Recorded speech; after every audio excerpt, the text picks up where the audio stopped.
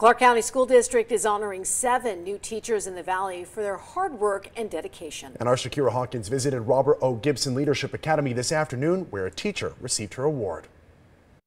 Clark County School District middle school teacher Jamie Sullivan was surprised on Tuesday.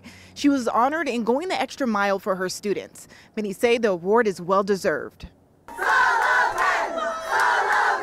Highlighting new educators in the Valley. It makes me feel wonderful. It makes me feel uh, appreciated. Jamie Sullivan says for the last few years she's been working for the Clark County School District as a support staff member, but knew her true calling was teaching.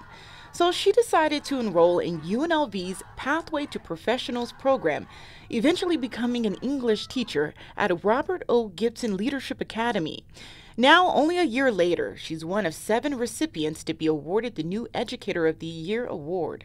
I put a lot of heart into it. I'm here an hour and a half, two hours early every day. I stay late. I'm here on Saturdays, oh, but I make connections and relationships with every last one of my students.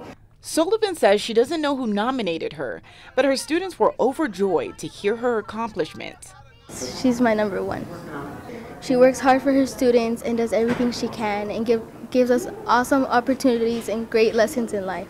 CCSD Superintendent Dr. Jesus Jara says it's important for the district to recognize its employees. Challenges that we have in education is the, the lack of respect that we have for educators and, and the board giving me the space to provide that opportunity to celebrate our hardworking employees. All seven new Educator of the Year recipients will be invited to an Evening of Excellence Award ceremony next week.